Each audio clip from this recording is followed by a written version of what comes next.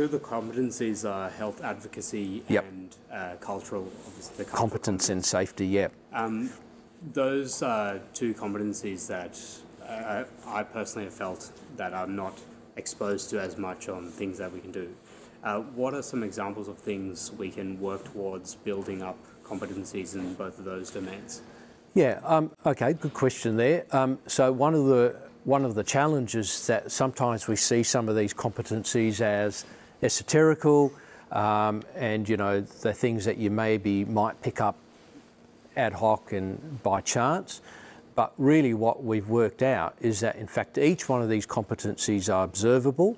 They're certainly tr- um, trainable, and you can measure them. You can measure the performance. So, you know, a good example of health advocacy is seeing a patient and understanding that they have health problems such as um, they're a bit overweight or they smoke or their diabetic control's not very good.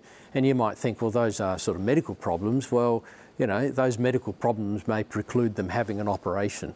So you then have to work with them to actually say, okay, these are the sort of things um, you need to be able to start pursuing and maybe start to make some of those connections for them. You know, get them to see a dietitian, talk to them about some of the medications or dietary uh, methods of actually reducing weight.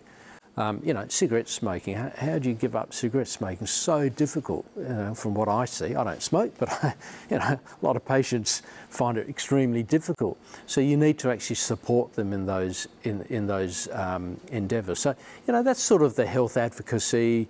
Um, side of things. I think the cultural uh, competence and safety is really about being aware and start to practice that, okay, um, you know, this person is of this particular ethnic background and they, and they have very strong cultural beliefs in certain things, and I need to be able to be aware of that because it means that if I'm going to get their consent, I have to use certain language or certain approaches um, to actually allow that to happen. You know, I might need to ask permission whether I can actually examine someone. Of course, you have to ask permission all the time, but there may be some types of examinations in some people who um, may actually be taboo. So you have to think about other ways or uh, ways around that.